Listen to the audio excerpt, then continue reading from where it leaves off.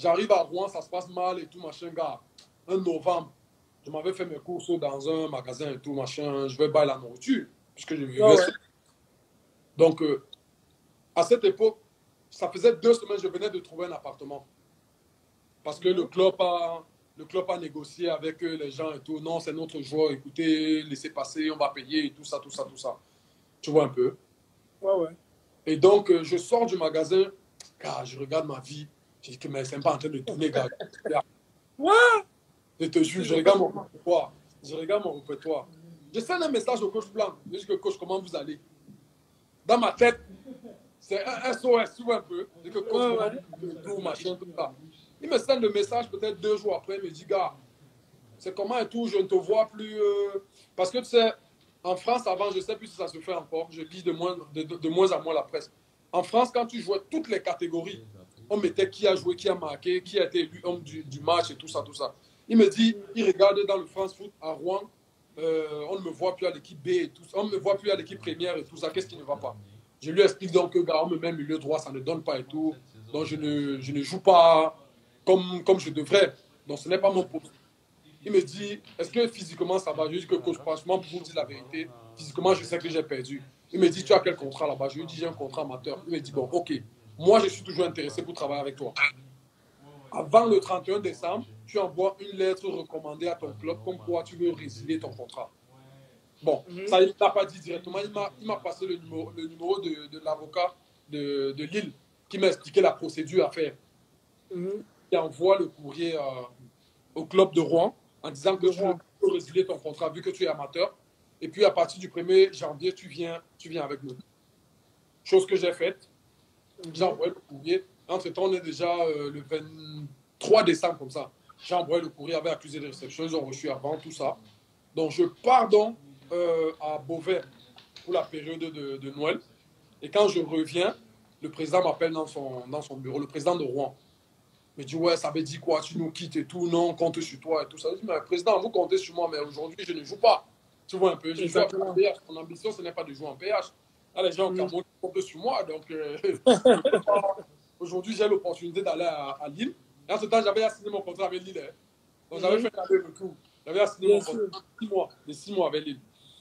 Et On est en donc, quelle année là on est en 2006. D'accord. Ouais, on est en 2006-2007. Et donc, euh, je lui explique et tout.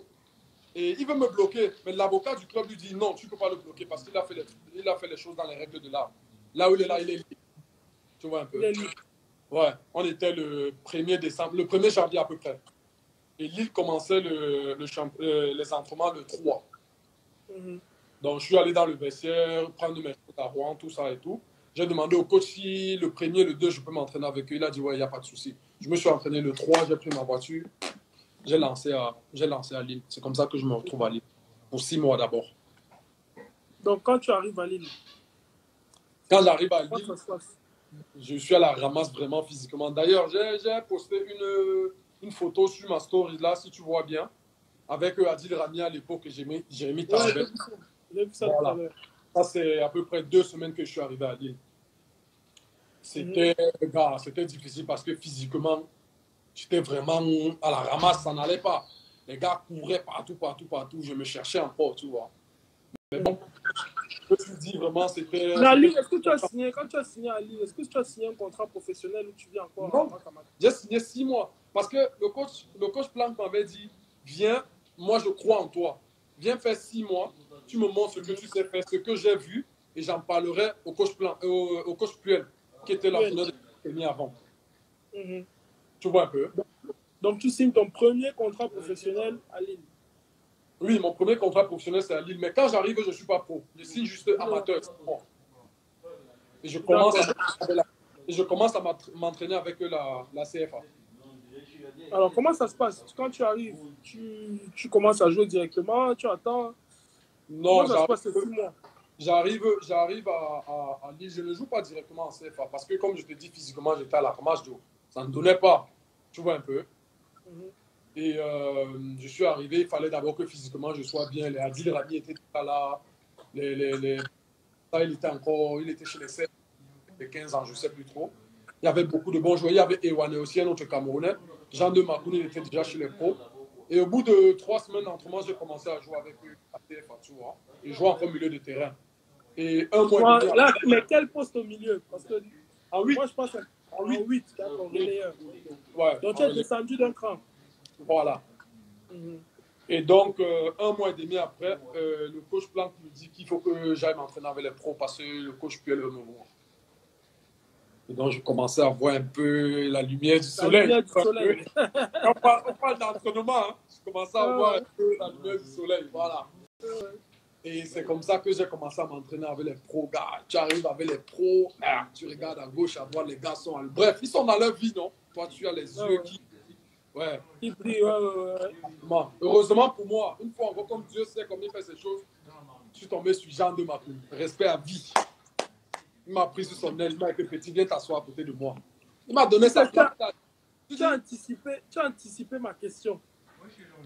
Tu as anticipé ma question parce que c'était ça la prochaine question. Jean 2, comment est-ce qu'il t'accueille? Parce que je, avant, avant, avant que tu le passes, on a reçu ici euh, Kader Keita.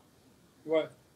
Qui a tracé son parcours et dès qu'il a parlé de l'île, la popisaille, dès qu'il a parlé de l'île, il a bloqué et il a fait exactement ce que tu viens de faire. Il a dit vraiment, Jean de Macoun, respect.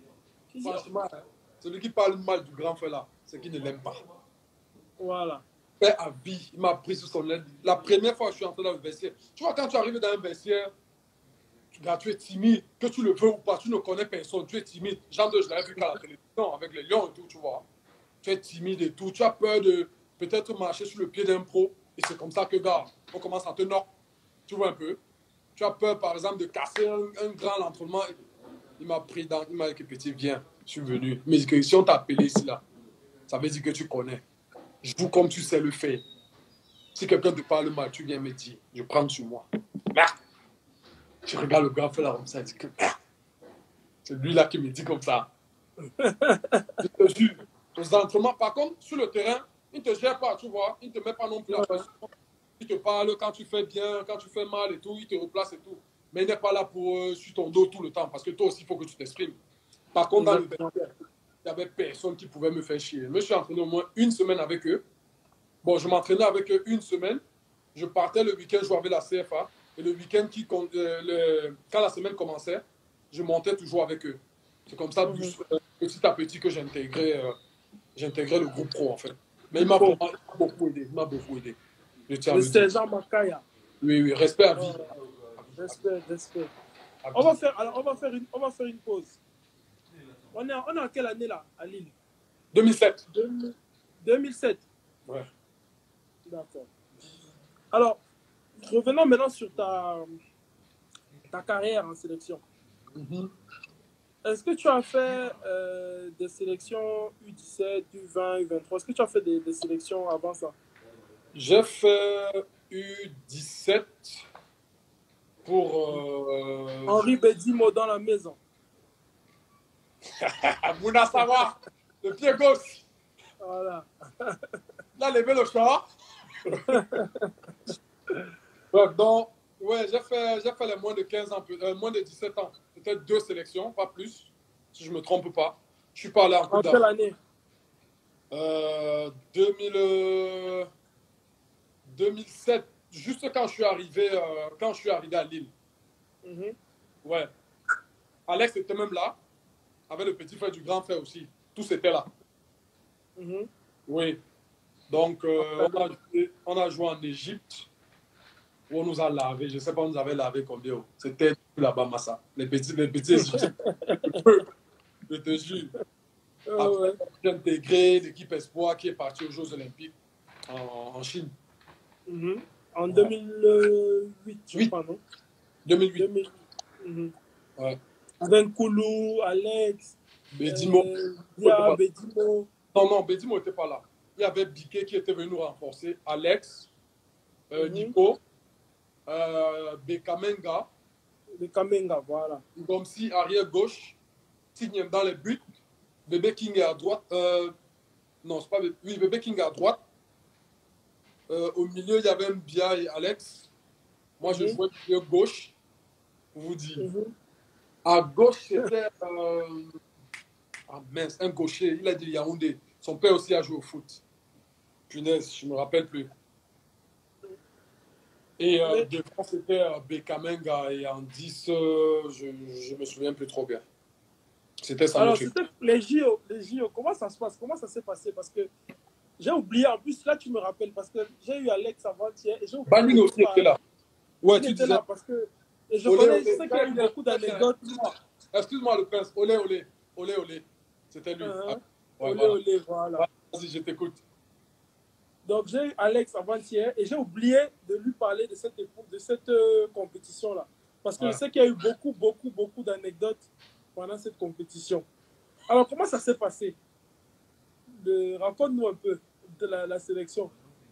Moi, ça, c'était chaud parce que on est quitté, on est go, on est go d'abord pré-olympique à Hong Kong. Mhm. On- alors, est-ce qu'il y avait, parce qu'on m'a dit qu'il y avait, pendant la qualification, c'était les joueurs qui jouaient au pays d'abord, qui se sont qualifiés. Euh, vous, non, vous moi, êtes- je, non, non, moi, je joue les qualifications. On s'est qualifié. Ouais. Je jouais déjà à Lille. C'était pas que les Mhm. joueurs au pays. D'accord. Il y avait énorme aussi, énorme. Non, c'était pas que les joueurs qui jouaient au pays. Nous aussi, on commençait déjà à nous appeler, euh, nous qui étions, on était, euh, on était déjà en Europe. Certes, il y avait, il y avait qui n'étaient pas encore pro, qui étaient dans des, des centres de formation pro, mais qui n'étaient pas pro, tu vois. Mhm. On a joué, on s'est qualifié en Guinée. Et euh, pendant, pendant la préparation, on est parti à Hong Kong pour les pré-olympiques. Ah, Mhm. c'est- C'était dur parce qu'on avait à tout négocier, toutes les primes, tout, tout, tout, tout, tout, tout. tout. Gars, je faisais dans les calculs comment je vais bailler le terrain pour construire la maison. De... Tous les commentaires qu'on avait, c'était les terrains qu'on allait bailler. Les terrains que vous allez bailler. Oui, ne demande pas. On joue, on joue les pré-olympiques. On a joué peut-être trois matchs. Et maintenant, on quitte Hong Kong pour se rendre vraiment au village olympique, en fait. Tu vois? Mhm. Mhm. Et on arrive à l'aéroport. On n'a pas de billet d'avion. Non, On n'a pas de billet d'avion. On a dormi à même le sol. incroyable. L'aéroport. Incroyable. On a dormi à même le sol. au avec les entraîneurs, avec les, avec les dirigeants, tout le monde. On était là au sol. Ça veut dire que le décalage aurait été en train de nous toucher. Tu vois un peu Ouais, ouais. On tournait, on tournait, on tournait. On appelait Landry. Le pauvre, il n'avait pas reçu les instructions pour nos billets d'avion. Tu vois un peu Mhm. Lui-même, il est débattre. et tout. Quel Landry C'est quel Landry Landry qui s'occupe des billets, qui s'occupe des billets d'avion de, de l'équipe de la nationale. sélection à l'époque. Ouais, voilà. Mhm. Je sais plus si c'est toujours lui. Alors, pendant que, euh, pendant que le, le- le coach, le coach euh, l'appelle pour gars, Landry, c'est comment nous, nous sommes à l'aéroport, on doit décoller, tout ça, tout ça, tout ça. Il est, il est, il est surpris, tu vois un peu, parce que Mm. personne ne lui a rien dit. Et entre-temps, on venait de finir euh, les pré-olympiques, comme je te disais. La fatigue, on n'avait pas de chop, rien, rien, rien, rien du tout. On a tourné à l'aéroport, ça a tourné, tourné. Au bout d'un moment, je dis à Beka que vous savez quoi, moi, je vais dormir au sol, je m'en fous. Je suis fatigué. Il n'y avait pas les que tu vas d'abord prendre une chambre. Si tu prends une chambre, l'avion te laisse un peu. Il fallait trouver les zones, tout ça. On, a coupé les, on, a, on a coupé les au sol. Après 5 000, on a pris nos- euh, le sac à dos. On a coupé un bon sommeil. On a coupé un bon sommeil. En attendant que l'avion arrive. je te dis. Et Ah. entre-temps, le pire, le pire c'est que quand ils nous trouvent le billet d'avion, peut-être allez, 6-7 heures après, ceux qu'on n'a pas pris dans la liste de- des Jeux Olympiques, ils doivent rentrer en Europe pour Ah ouais, continuer, oui, pour continuer dans leur club et tout ça, tout ça, tout ça. Eux non plus, ils n'ont pas de billet d'avion. Ou back. Donc, eux-mêmes, ils sont coincés avec vous. Eux-mêmes, ils sont comme ça, élan, élan, Incroyable. je te jure. Donc, il fallait encore appeler Landry et tout. Entre temps, on est en train de go. Le coach leur a seulement dit que, gars, coller Landry. Moi, je ne gère rien. coller Landry, il va, il va gérer. Donc, Il va gérer. Voilà. On est arrivé donc au village olympique et. Et finalement, les billets d'avion arrivent quand le lendemain? Non, peut-être 6-7. Et... Et finalement, les billets d'avion arrivent quand le lendemain? Non, peut-être 6-7 un peu. Voilà. On, Ouais, était, on était à sa merci, en fait. C'est lui qui décidait qui allait, à quelle heure on devait prendre le vol et tout ça, tout ça, tout ça. Le vol Voilà, tout il a fait ce qu'il a pu. Et donc, euh, finalement, on est, arrivé, on est arrivé au village olympique. Un peu tard, mais on est arrivé quand même. Alors, je pense qu'il y a encore eu à ce moment-là l'éternel problème de, du Cameroun. Le problème des primes. Et comment, comment vous avez résolu ça? Est-ce que vous êtes parti, vous aviez eu vos primes au pays ou euh, arrivé là-bas, vous avez encore commencé à Écoute l'histoire. On arrive, on arrive au village On est arrivé peut-être 3 ou 4 jours ou 2 jours, je ne sais plus trop, avant le premier match. OK? Mm-hmm. Tu m'entends? Allô? Ouais, ouais, je t'entends, je t'entends. Donc, on arrive. Oui, oui, je t'entends. Avant, la compétition, on avait négocié 30 millions par tête. Par joueur Par joueur. On avait négocié 30 millions. Tout était à bon, tout, tout, tout, tout, tout avec le ministre, tac, tac, tac, tac, tac et tout. On nous dit donc non, avancez-vous, on arrive avec euh, le Mpélé. Tu vois un peu On arrive Comme d'habitude. Ouais, ouais. On va poser ça sur place. On est content. Ouais, ouais. On est content et tout, tout ça, tout ça, tout ça on fait les calculs, gars, je vais bailler ceci, je vais bailler cela, gars, le terrain, il faut que la matin sorte du quartier, tout ça, tout ça, tout ça. Alors, jour du premier match, même les dirigeants, on ne les voit pas. On se rassemble. On dit que Tout le monde a Nyongo. Oui, on dit que bon, les gars, on fait comment?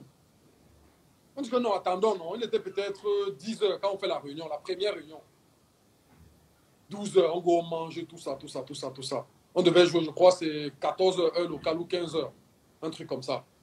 13h30. Mhm.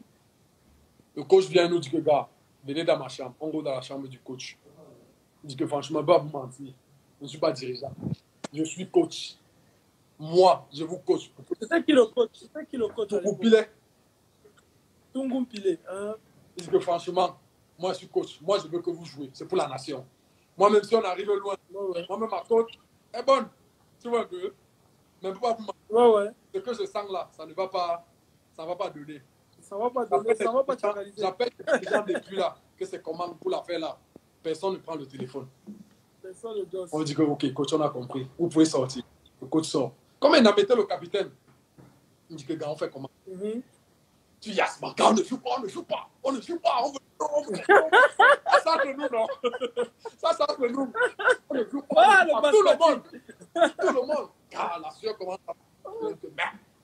Les gens, si nous ont rencontré ça du mon frère. Ce qu'on y a, ils arrivent aussi.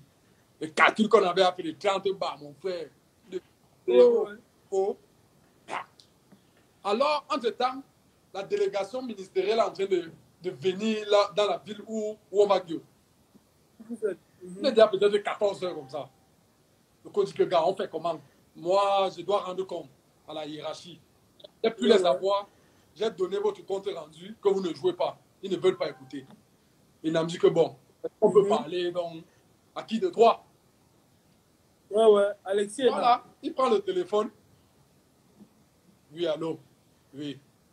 Il parle, je ne sais pas si c'est qui le ministre ou bien le, le, président africain, je ne sais plus trop. Mais là-dedans, il y avait, euh, je crois, le, le, directeur du sport olympique, ou bien si c'est M. Kalkaba, celui qui a les Ouais, ouais, Kalkaba mal. Voilà. Il est... ouais, ouais, le président du comité olympique. Exactement. Il était dedans. Mm. Ah. On parle, on parle, on parle. Les gars disent que allez jouer, on va vous donner les primes après. Et Nambraco, il dit que les gars, comme lui, il était avec l'équipe nationale depuis. Ouais, ouais. Il dit que les gars, je ne sens pas ça. Si on joue déjà un match là, c'est mort. C'est mort.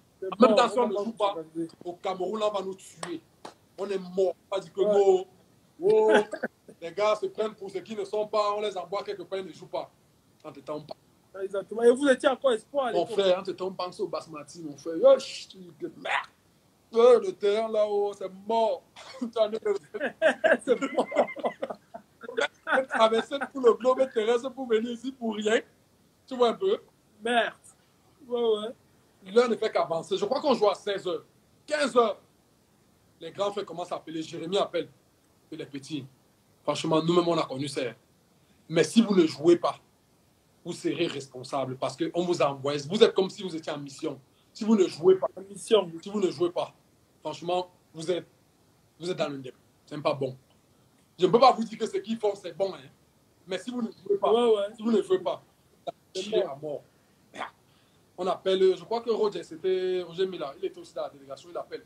Les petits, allez jouer, allez jouer. On arrive, allez jouer. Ils étaient en route en train de quel? Allez jouer, allez jouer, allez jouer, on arrive, on arrive. On a appelé, je crois que c'était le Bantou, il était aux États-Unis ou un truc comme ça. Il a commencé à parler que non, allez jouer et tout, je prends sur moi, je vais les convaincre, tout ça, tout ça, tout ça. En de temps, chacun était dans sa chambre. Il a fait encore une réunion dans la chambre du coach. Les gars, son ambition, on fait comment? Il est 15h15. On, prend une décision là, on joue, on ne joue pas. On dit au coach que. Une heure, et ça, c'est une heure avant le match. Une heure avant le match. Sachant que, chaque délégation doit être deux heures avant le match au stade. Deux heures avant le match, bien sûr. Sinon, vous êtes, Sinon, vous êtes forfait. En temps, les coups de fil passent à gauche, à droite, oh, le Cameroun, ça arrive, ça arrive. Parce qu'en temps, le, euh, le comité olympique envoie le bus à l'hôtel, vous prendre pour, pour prendre la route, pour le stade. Ouais, ouais, Alors, on décide que, gars, on fait comment? Il a dit que, gars, allons jouer. On les met la pression sur le premier match. Et le deuxième match, on va voir comment ça va se passer. Il est 15 h on doit jouer à 16 h On a, chacun tu mets ses chaussures ici comme ça, on est go. On avait mis le short, les chaussures, tout ça, tout ça, tout ça. Les baskets, on a mis les chaussettes. C'est comme ça qu'on lance le bus. Puis tu sais, que ce soit la Coupe du Monde, Coupe d'Afrique ou Jeux Olympiques, quand il y a le bus, il y a les cas, il n'y a pas d'embouteillage, rien, rien, tout ça, tout ça, tout ça. Ouais, ouais, ouais, on dégage. Le chauffeur, le chauffeur a pris, il a pris la route. On arrive au stade. Je ne sais pas c'était de qui le premier match, les gars étaient déjà en train de s'échauffer. On est sorti, on est comme ça, on arrive au vestiaire, on met seulement les chaussures. On s'est échauffé peut-être 10 minutes. Après, maintenant, on est en train de carburer. Je ne sais pas si on fait 0-0 ou 1-1, je ne me souviens plus trop. Une heure de temps, c'est ça parce que. Voilà, et on fait les résultats. Et en de temps, et en de temps j'oublie de dire que pendant les nuits, on ne dormait pas parce qu'on pensait toujours que nos, notre agence c'est comment? Tu vois un peu. Après le premier match, donc, comme les gars étaient déjà sur place, on fait une réunion avec eux.